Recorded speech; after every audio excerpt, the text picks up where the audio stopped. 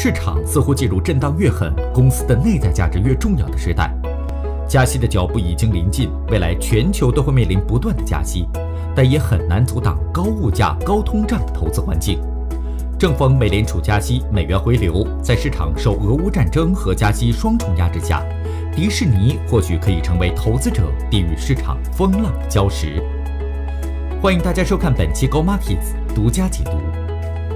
作为全球娱乐媒体巨头，且在2021年财富美国500强排行榜第五十位的华特迪士尼公司，拥有世界第一的娱乐及影视品牌迪士尼，以及影视娱乐主题乐园和媒体网络等业务。在2019年4月，迪士尼推出流媒体服务 Disney Plus，疫情的爆发也进一步推动了此项服务的发展。次年，迪士尼的线上流媒体业务也正式宣布成熟。这两则消息的出现，使得迪士尼的股价一飞冲天。再把目光放到近两年，迪士尼的股价由于疫情的干扰，在过去一年内一直处于承压状态，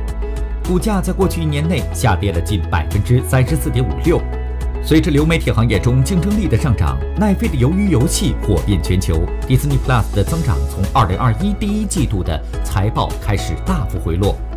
这样的放缓速度，就是使得迪士尼利润逐渐下滑的罪魁祸首。但二零二二年第一季度的财报显示，一方面其流媒体业务的新增用户量远超市场预期，较二零年同期增长百分之三十七。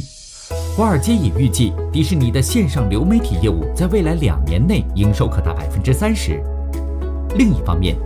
对疫情逐渐躺平心理的出现。使得更多人们选择走出家门，全球迪士尼主题乐园也陆续开放，使得公司的线下业务开始回暖。但是，后疫情时代线上业务发展的推进困难，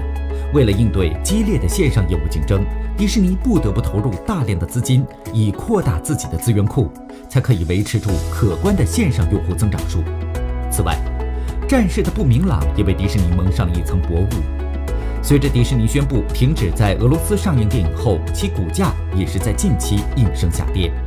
虽然迪士尼在未来还会面对内忧外患的种种问题，但线上和线下业务发展潜力的上升，以及迪士尼引以为傲的百年品牌和版权库，都似乎可以使公司在震荡的大环境下寻找出自己的一席之地。今天的内容就到这里了，感谢大家的观看。大家如果想要获取详细的文字报告，可以扫描屏幕上的二维码。